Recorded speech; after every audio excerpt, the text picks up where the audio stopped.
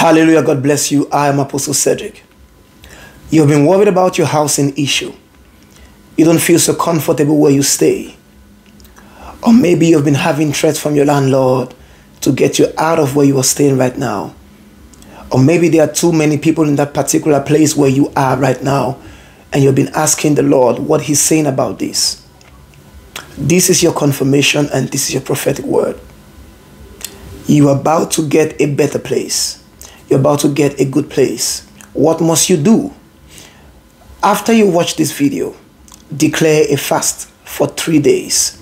Pray and fast 12 hours a day. Fast 12 hours a day and pray 30 minutes every day about this issue.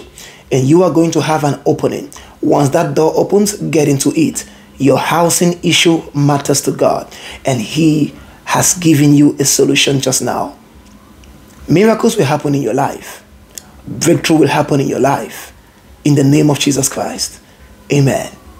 God bless you. If you're blessed by this prophetic word, please do like, share, and subscribe. Have a wonderful day.